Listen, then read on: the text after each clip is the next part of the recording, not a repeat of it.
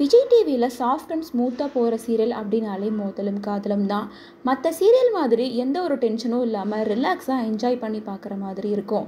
அதே நேரம் ஃபன்னுக்கும் பஞ்சம் இல்லாத மாதிரி தான் இருக்கும்.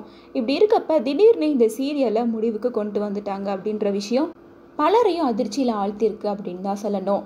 போன வருஷம் தான் இந்த சீரியலை ஸ்டார்ட் பண்ணியிருந்தாங்க. இன்னும் முந்நூறு எபிசோட் கூட கிராஸ் ஆகவே இல்லை.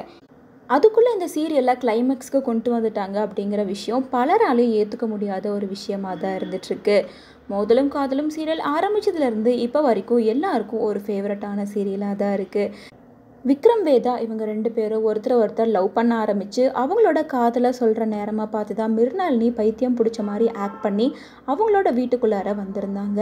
இந்த விஷயத்த சீக்கிரமாகவே விக்ரம் வேதா ரெண்டு பேருமே கண்டுபிடிச்சு மிருனாளினியை வீட்டை விட்டு துரத்திட்டாங்க.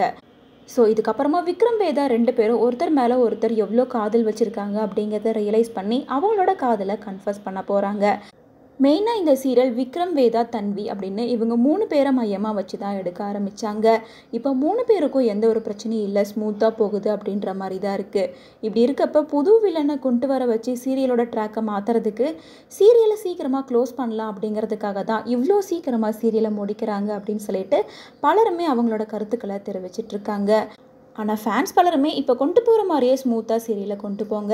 பார்க்குறதுக்கும் இன்ட்ரெஸ்ட்டாக இருக்குது அப்படின்னு சொல்லி அவங்களோட ரெக்வஸ்ட்டை வச்சுட்டு வராங்க.